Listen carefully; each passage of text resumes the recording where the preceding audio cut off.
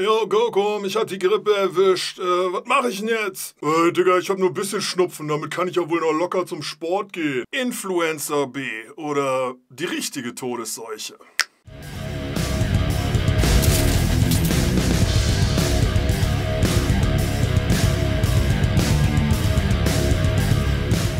Ja, moin Leute, herzlich willkommen im heutigen Video. Äh, ja, wie man meinem ultimativen Ghetto-Outfit ansieht, äh, habe ich mal wieder die Seuche. Ja, dank vieler Kollegen, die sich aufgrund von Präsentismus natürlich unbedingt äh, im Büro auf Arbeit anschleppen müssen, damit sie bloß keine Fehltage haben, aber Hauptsache alle Leute anstecken. Alles Mögliche mit ihren Grabbelfingern angrapschen, sei es Kaffeekannen, sei es Türklinken, sei es was weiß ich was so dich dann die ganze Zeit noch so aus nächster Nähe voll labern und dir dann nachher irgendwann sagen, dass sie dann doch irgendwie krank sind. Ja, läuft, ne? So gerade wenn so eine Seuche im Umlauf ist, dann kotzt einen das richtig an.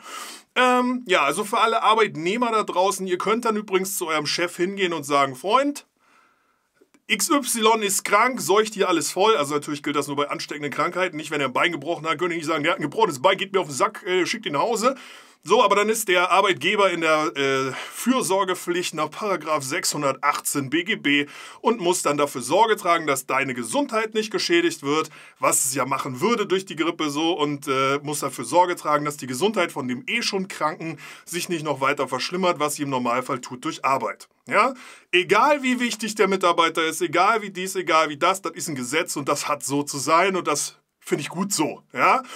Äh, letzten Endes, äh, Lebenszeit ist Lebenszeit, egal ob das jetzt ein wichtiger Mitarbeiter ist oder nicht. So, Lebenszeit ist von jedem gleich viel wert. Das ist scheißegal, ob das der Hochingenieur ist oder ob das der, was weiß ich, äh, Straßenarbeiter ist oder der Obdachlose, keine Ahnung so. Ne? Alle Leute haben einen begrenzten Zeitraum auf diesem Planeten so und wenn der gefickt wird von irgendeiner Krankheit, was man vermeiden könnte so, dann ist das ein, ja, da ist nichts mehr mit äh, Mastercard. Ne? Das ist dann dieses Unbezahlbare so.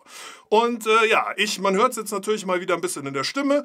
Ich habe natürlich mit diesen Leuten zu tun gehabt, so dementsprechend, ja, krank. Ja, so bei mir, ich bin ja natürlich sehr arbeitgeberfreundlich. Bei mir zieht sich das irgendwie immer randlos aufs Wochenende und dann, äh, ja, muss man mal gucken. So. Nichtsdestotrotz ist die Influenza B, da, die, die gerade rumgeht, so, man kann sie wohl vermeiden mit der Vierfachimpfung. Äh, ich persönlich bin nicht so der Freund von äh, Impfungen gegen Grippe und Impfungen gegen irgendeinen Firlefanz. Bei wirklichen äh, Seuchen und äh, Krankheiten, die man tatsächlich ausrotten muss, so finde ich das sehr sinnvoll. Bei Grippe ist das eine andere Geschichte. Äh, da bin ich so ein bisschen halt, hatte ich ja irgendwann mal gesagt, so noch in dieser Findungsphase mit dem Aluminium und mit den Allergien, die da ausgelöst werden und so ganzer Kram. Dementsprechend äh, verlasse ich mich da auf die Sorgfaltspflicht, Fürsorgepflicht des Arbeitgebers. Und äh, naja, gut, ich bin jetzt auf jeden Fall krank. Ähm, ja, das nächste Ding ist, äh, falls es euch auch erwischt hat, denn es hat ja schon ein paar Leute erwischt in Deutschland so, äh, ein paar mehr, so, ähm, was sollte man machen was sollte man nicht machen? Ihr seht, ich habe das Ghetto-Outfit jetzt nicht an, weil bei mir die Heizung ausgefallen ist oder weil ich alle Fenster auf habe. Natürlich ist Lüften immer eine schöne Sache. Äh, nichtsdestotrotz muss euer Körper sowieso mit der äh, Seuche fertig werden. Dementsprechend, äh, ob jetzt gelüftet wird oder nicht, lassen wir jetzt mal dahingestellt. Natürlich ist Bewegung und frische Luft erstmal sinnvoll für das System. Dementsprechend sollte man das jetzt nicht unbedingt hinten anstellen. Aber nein, bei mir ist es nicht kalt, sondern ich zwinge meinen Körper dazu, eine Hitze zu entwickeln ich erzeuge ein künstliches Fieber, weil es noch nicht da ist. Vielleicht kommt es noch so. Möglich, Möglichkeit besteht, ich versuche es jetzt gerade im Keim zu ersticken, damit ich Montag natürlich wieder fleißig für meinen Arbeitgeber da sein kann und äh, Kohle verdienen kann für ihn.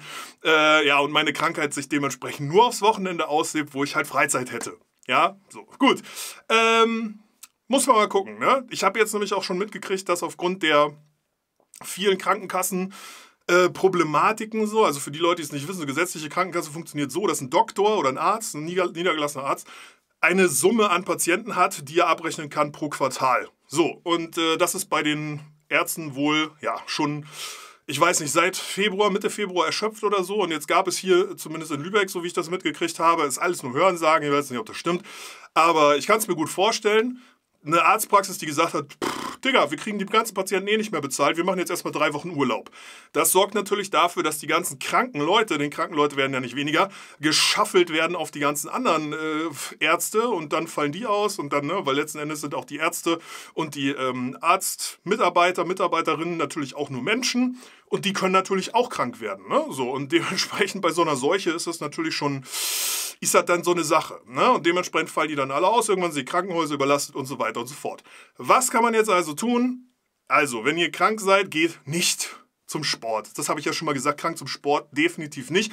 Alleine, weil ihr selber euch nichts Gutes tut, eure Krankheit künstlich verlängert und natürlich alle möglichen anderen Leute ansteckt. Ihr seid einfach pur asozial. Und genau, das ist auch keine Beleidigung, der Begriff asozial ist genau dafür bedeutet, äh, dafür eingeführt oder dafür gibt es diesen Begriff, asozial. Es passt nicht in das Sozialgefüge. Du bist halt aufgrund deiner eigenen Arroganz, gehst du irgendwo hin und verseuchst andere Leute, weil dir das Leben der anderen Leute scheißegal ist. Oder weil du so dumm bist und nicht drüber nachdenkst, dass das natürlich Folgen hat. Irgendwo bist du ja schließlich auch krank geworden. Ähm, ja, so, jetzt kannst du natürlich sagen, ja, Digga, du bist doch eh beim Einkaufen krank geworden oder was. Hm, das ist immer so eine Sache, so in solchen Zeiten wie jetzt. so, da habe ich tatsächlich irgendwie so ein bisschen die Problematik, dass ich äh, keine Sachen irgendwie kaufe, die von irgendwelchen Leuten angefasst werden, so, ne? Also von anderen Leuten, so, sondern halt tatsächlich nur abgepackte Sachen. Äh, ich habe äh, Handdesinfektionsmittel zu Hause und so ein Scheiß. Einfach aufgrund dessen, dass ich mit meiner Lunge halt diese Problematik habe und dass es mich dann halt immer richtig kaputt bumst, weil es halt, hatte ich ja schon mal erzählt, ich keine Mandeln habe und das dementsprechend tiefer rutscht und meine Lunge kaputt bumst. So. So, äh, ja, gut. Es ist noch nicht ganz in der Lunge, es ist noch ungefähr in diesem Bereich so. Also das heißt, es, es fängt jetzt gerade an zu verschleimen und es geht jetzt gerade zu. Dementsprechend versuche ich jetzt äh, dagegen anzukämpfen. Also, wenn, was sollt ihr machen, wenn ihr krank seid? Geht nicht großartig raus, toucht nicht viele Leute an, sofern es denn möglich ist. Lasst euch krank schreiben, so desinfiziert, wenn ihr denn tatsächlich noch auf Arbeit seid und ihr nicht wirklich mitkriegt, ob ihr krank seid oder nicht. Desinfiziert eure Flossen, wascht euch die Hände. Diese ganzen standardhygienischen Sachen, auf die irgendwie keiner mehr Rücksicht nimmt, äh, weil man ist ja eh krank und es geht einem eh scheiße und dies und das. So. Der nächste Schritt ist dann halt, wie gesagt, warm einpacken und dann haltet euer Protein oben. Ja, euer Körper braucht Protein, um natürlich seine Abwehrkräfte zu, ja, zu aktivieren, am Leben zu erhalten, was auch immer. Ähm, er muss seine Killerzellen bauen, er muss Schleim beispielsweise auswerfen, so wenn es denn dann irgendwann so ist. Und äh, ja, Schleim ist irgendwie auch Protein, auch wenn das. Ne. Gut, und äh, dementsprechend, äh, ja. Flüssigkeit, rehydrieren, ständig trinken, aber für Leute, die mein Trinken-Video gesehen haben, äh, wir trinken ja eh alle eigentlich ausreichend, aber das auch nicht einschlafen lassen, wenn man denn krank ist. Ja, bei mir kommt noch dazu, ich lade hin und wieder immer mal so ein bisschen den Akku auf, indem ich heiß duschen gehe. So, also tatsächlich heiß, rote Haut, kochen, ah, es brennt, so Hummer-Style. Dann wieder dick anziehen, damit halt im Prinzip einmal der Körper so überhitzt wird und das Ganze drin gehalten wird. Und dann seht ihr ja hier, es läuft immer fleißig die Suppe. Ja. Ähm, ja, jetzt, wenn ihr baden gehen könnt, dann geht baden. Ich habe zwar eine Badewanne, aber wenn du 1,90 groß bis 130 Kilo schwer bist, dann hängt da irgendwie mehr raus, äh, als dass du wirklich im Wasser bist. Dementsprechend äh, bin ich dann eher so der Freund vom Duschen. Ähm, ja, und äh, wie gesagt, das ist, glaube ich, der Punkt. Also wirklich warm einpacken, äh, natürlich Wasser trinken oder Flüssigkeit zuführen, Proteine zuführen, wenn ihr wollt, Fette zuführen und natürlich Vitamine zuführen. So, das ist halt so im Prinzip der ganze Firlefanz so der ganze Zauber. Es ist nichts anderes. Ihr könnt im Prinzip nur dafür sorgen, dass ihr nicht noch mehr Leute ansteckt und noch mehr Leute verseucht und was auch immer. Ja, wie gesagt, nochmal ganz wichtig für alle Leute, die da draußen denken, sie wären der große Held im Erdbeerfeld. So, nein, so eine Grippe kann tödlich enden. Ich glaube, an dieser Influenza B sind 140 Leute oder was schon gestorben. Dieses Jahr ist natürlich doof. Für so ein Industrieland so, äh, wenn ihr jetzt natürlich irgendwo im dritte Weltland wärst, da wäre die halbe Bevölkerung weg. Ähm, ja, und dementsprechend ist es halt für Leute, die Probleme mit der Lunge haben, äh, also so Asthmatiker und sowas, so, ne, dann äh, Probleme mit dem Herz haben, also möglicherweise Bluthochdruck oder Herzrhythmusprobleme oder solche Geschichten. Ähm, ältere Leute, Kinder, so, das sind halt Leute, die halt dann dementsprechend besonders auffallen und besonders aufpassen müssen. Und äh, ja, gerade unterstützte Sportler können natürlich auch noch in diese Kategorie fallen. Also für die Leute, die ihr Herz nicht kontrollieren oder für die Leute, die viel Masse mit sich rumschleppen oder für die Leute, wie ich jetzt beispielsweise, die die Lunge hinten gegen haben. Äh, da kann das natürlich dann schon ja, eine problematische Geschichte werden. Dementsprechend nehmt die ersten Anzeichen ernst, reagiert, Macht was dagegen, warm einpacken, wie gesagt. Äh, diese klassische Hühnersuppe mit Karotten, Äh, da ist alles drin, Flüssigkeit drin, Proteine drin, äh, irgendwie Vitamine noch drin, so, äh, so, ne? Also das sind so diese alten Hausmittelchen.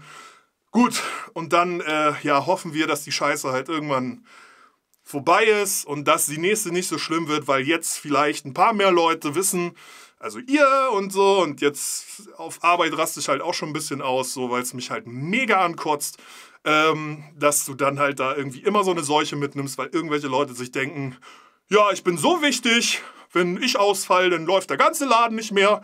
Da soll lieber der ganze Laden ausfallen, aber ich habe keine Krankheitstage in meinem Buch stehen. Ja, asozial. Dafür ist dieser Begriff asozial. Gut, äh, das soll soweit gewesen sein. Kurzer Rant, Goko sappelt, keine Ahnung. Vielleicht den einen oder anderen Tipp mitgegeben. So, also das, was die Oma schon immer gesagt hat, ins Bett dick einpacken, Hühnersuppe dabei, viel trinken, Tee, dies, das. Ja, passt immer noch, funktioniert immer noch. Und letzten Endes alles, was ihr machen könnt, sei es Schleimlöser, sei es äh, Entzündungshemmer, sei es Fiebersenker, diese ganzen Geschichten, ähm, braucht man eigentlich im Normalfall nicht. Natürlich jetzt nicht übertreiben und sagen, ja, hier 41, Fieber, äh, ich äh, brauche das nicht so, ne? Dann wird es natürlich irgendwann schon ein bisschen problematisch. Aber letzten Endes hast du ein Immunsystem und das Immunsystem soll halt es macht ja nichts anderes. Es wärmt dich auf, so und dementsprechend erzeugt es genau diese Hitze, damit halt irgendwelche äh, Proteinstrukturen, sei es jetzt von Viren oder sei es von Bakterien, denaturieren und dann kaputt gehen. Ja? So, und das ist halt das Ziel und äh, dazu noch ein bisschen das Immunsystem boosten, den Körper ein bisschen entlasten, dadurch, dass man halt eben keine schwere Arbeit macht, dass man halt auch nicht zur Arbeit geht, sondern sich krank schreiben lässt, äh, dass man definitiv nicht zum Sport geht und so weiter und so fort. Ja, also relativ einfaches Video, so war jetzt halt auch nur so ein ich muss nicht mal auskotzen Video, ja, wie gesagt, geht zu eurem Chef, Paragraph 618 BGB, falls irgendwelche Leute damit, sei es Durchfallerkrankungen und ihr kriegt das mit, so, weil er, oh, ich muss schon wieder kacken und so, ähm, sei es halt mit solchen Seuchen wie hier sowas, ne, also alle ansteckenden Geschichten, da äh, sind die Chefs dann dazu verpflichtet, dazu zu sagen, ja, eh, im Sinne der Fürsorge, äh, ich äh, schicke jetzt entweder den nach Hause oder der ist so wichtig, den stecke ich ins Quarantäne oder ich äh, mache irgendwelche äh, abgesperrten Bereiche oder irgendwie sowas. Ne? Beispielsweise diese Rauchergeschichte ist ja auch so ein Ding.